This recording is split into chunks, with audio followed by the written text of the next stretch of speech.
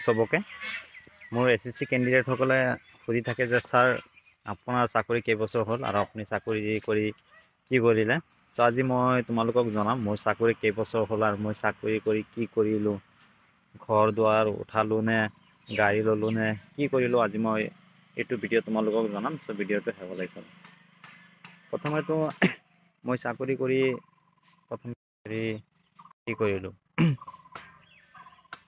প্ৰথমে কাম কৰিছোঁ মোৰ মতে এইটো ভাল লাগিছিল মই মাটি লৈছোঁ মাটি দেখুৱাম আজি। চাৰে ন দহ লাখ টকা দি মাটি লৈছোঁ ইয়াতে। সেইটো মাটিতে মই কাম কৰিব আহিছোঁ ঘিৰা দিব আহিছোঁ।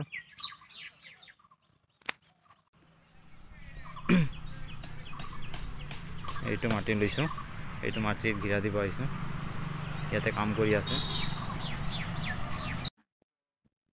তোমালোকেও চাকৰি হ'লে তোমালোকেও এনেকৈ মাটি ল'ব পাৰিবা গাড়ী ল'ব পাৰিবা চব লাইফত যিখিনি এনজয় কৰিব পাৰে নিজৰ মা দেউতাৰ প্ৰয়োজনবিলাক তোমালোকে পূৰণ কৰিব পাৰিবা। কাৰণ চাকৰি আমি কৰোঁ নিজৰ ফেমিলিৰ কাৰণে তোমালোকে চবেই জানা লাইফত চবতকৈ ইম্পৰ্টেণ্ট হ'ল নিজৰ ফেমিলি নিজৰ ফেমিলিৰ কাৰণে আমি চাকৰি কৰোঁ কিন্তু চবতকৈ ভালকৈ থাকিবলৈ নিজৰ ঠিকনা লাগে আগতে মোৰ একো নাছিল মই ইয়াতে মাটি লৈছোঁ এতিয়া মই ইয়াতে ঘৰ দুৱাৰ কৰিম আগতে গাঁৱতে আছিলোঁ চাকৰি পোৱাৰ আগতে একো কৰা নাছিলোঁ ইমান মাটিও নাছিল এতিয়া জব পোৱাৰ পিছত মাটি লৈছোঁ আৰু কেইদিনমান পিছত আকৌ ল'ম। লৈ এতিয়া আগতে ঘৰ নাছিল এতিয়া ঘৰ ষ্টাৰ্ট কৰিম ইয়াতে এতিয়া টাউনত আহিছোঁ গাঁৱৰ পৰা। ভাল লাগিছে নিজে কাম কৰি আছোঁ ইয়াতে। ৰাতিপুৱাৰ পৰা কাম ষ্টাৰ্ট কৰিছোঁ ইয়াতে চ' ভাবিলোঁ আজি তোমালোকক শ্বেয়াৰ কৰোঁ চবে সুধি থাকে মোৰ ঘৰ ক'ত? মোৰ কি কি কৰোঁ বাৰু চবে গম পায় চাকৰি কৰা বুলি।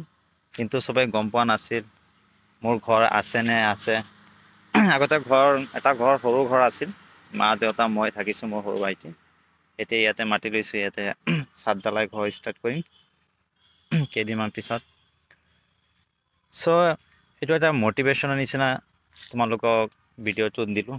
কাৰণ লাইফত এনেকুৱা বহুত কণ্ডিশ্যন আছে আমি মিডিল ক্লাছ ফেমিলিৰ পৰা বিলং কৰা ল'ৰাবিলাকে ফৌজিত আহোঁ আমাৰ নাথাকে। ফৌজিত অহাৰ পিছত কিবা কৰিবলৈ আমি সুবিধা পাওঁ। চ' ভগৱানে এইখিনি কৰিবলৈ মোক সুবিধা দিছে। থেংকছ দিব খোজোঁ ভগৱানক। আজি দে মাটিক ৰক্ষা কৰিবলৈ ৰক্ষা কৰিব পাৰিছোঁ নিজেও কিবা কৰিবলৈ নিজৰ মা দেউতাকো সেৱা কৰিবলৈ পাইছোঁ। চ' বহুত ভাল লাগিল। আজি সেইকাৰণে ভিডিঅ'টো লৈ আহিছোঁ। চ' জয় হিন্দ। আগতে গাঁৱতে আছিলোঁ চাকৰি পোৱাৰ আগতে একো কৰা নাছিলোঁ।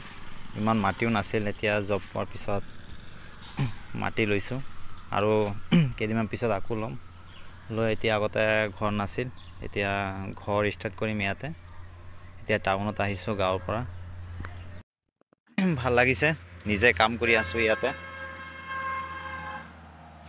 ৰাতিপুৱাৰ পৰা কাম ষ্টাৰ্ট কৰিছোঁ ইয়াতে চ' ভাবিলোঁ আজি তোমালোকক শ্বেয়াৰ কৰোঁ চবে সুধি থাকে মোৰ ঘৰ ক'ত? মোৰ কি? কি কৰোঁ বাৰু চবে গম পায় চাকৰি কৰা বুলি।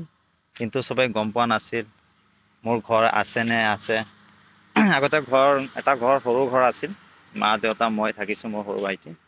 এতিয়া ইয়াতে মাটি লৈছোঁ ইয়াতে চাদ ঢালাই ঘৰ ষ্টাৰ্ট কৰিম কেইদিনমান পিছত।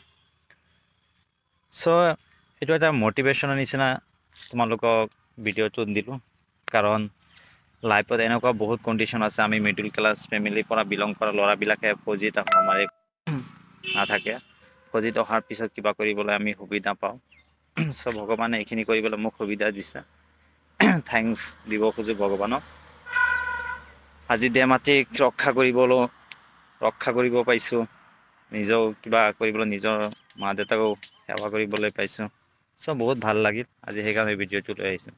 চ' জয় হিন্দ।